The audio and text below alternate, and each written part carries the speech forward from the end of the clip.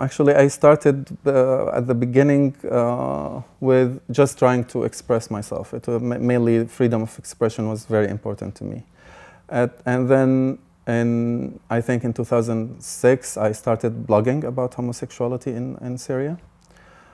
Uh, during the demonstrations in Syria, uh, the, uh, the very first months of the revolution, I uh, started also blogging, but used a different name, uh, about uh, the political situation for LGBT persons. Like for me as a gay person in Syria, how, how does this political situation affect me and why I'm anti-regime. Uh, and uh, then later I started uh, an um, LGBT magazine online, Mawaleh when it's about LGBT rights, it's something about helping people to express themselves. Uh, maybe like, you know, I've, I thought of Mawaleh at the beginning as a platform for this as well.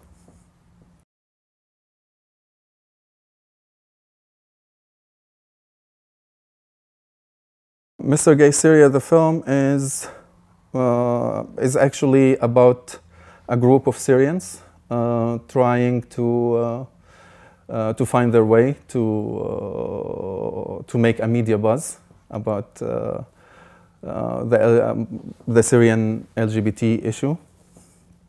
the idea was to go to Mr. Gay World and maybe like, you know, create some media attention and present a different image of the LGBT refugees because everything we hear now is about the people who got killed and nobody actually pays attention to people who survived and trying to actually to build their lives.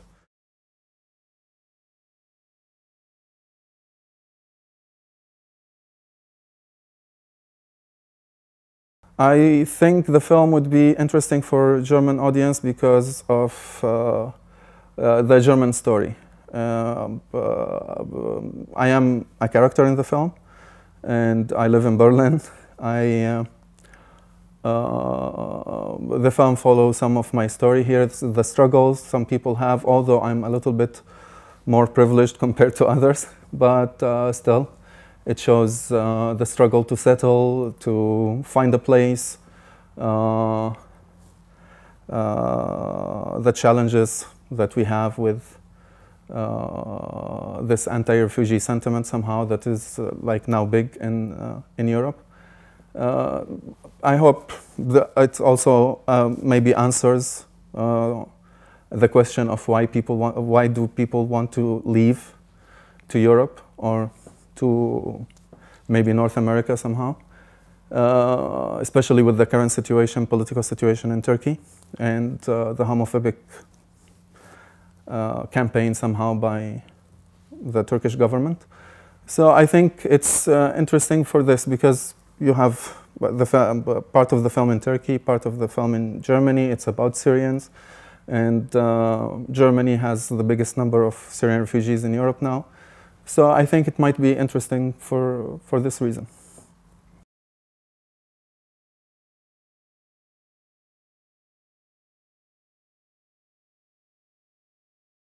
I'm working now with uh, Berlin with uh, uh LGBT uh, refugee project. We call it the Queer Refugees Project, and um, uh, we are dealing with uh, with a lot of uh, stories from uh, LGBT refugees, um, LGBT asylum seekers, actually in in Berlin, and and in all Germany as well, because we receive lots of emails and questions. I would say that for Syrians, it's a little bit easier than others because of the war in the country. So they cannot be sent back. And this is, uh, this is, um, uh, this is, uh, uh this is an easy, like, you know, an easy solution for, for the current situation, at least. Like you, you know that at least even if they get uh, subsidiary protection, you can just work on the case later. But for other refugees, it's, it's becoming very difficult to, to claim asylum and to receive a status. Uh, there are countries that are considered safe countries, although they, are, they have like uh, very awful record of uh, human rights vi violations, but still people are being sent to those countries somehow.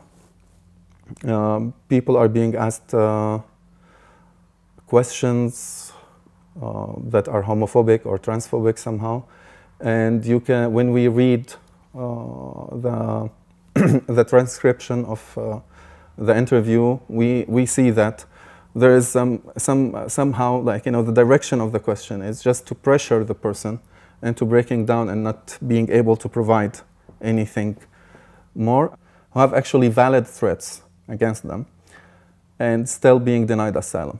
And uh, this is a big problem now. Uh, uh, unfortunately, there, there is no way of, uh, of working around this. Uh, you have a political situation now that is trying to please the voters with a big number in statistics of being denied uh, of people who were denied asylum and deported outside of Germany, and uh, this takes the chance of people who actually deserve uh, a chance to stay in Germany and have the right to asylum of being deni denied asylum, and this is quite a dilemma for us now.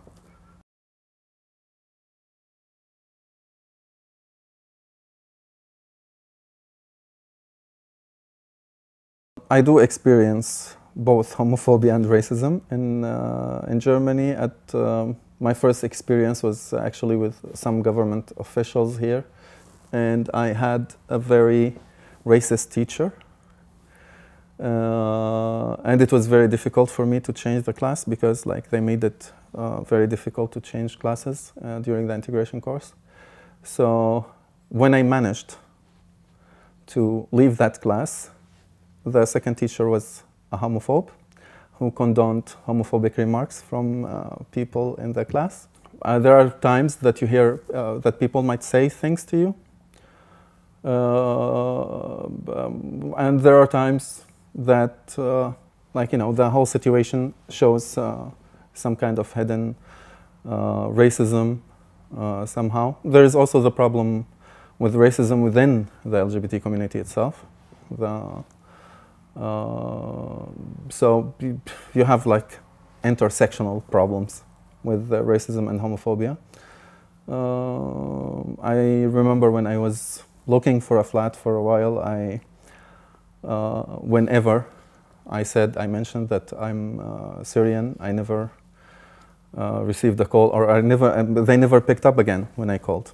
Like you just tell you, okay, let's talk again, and then they never pick up again uh, until actually very, very recently, I was quite angry with the situation.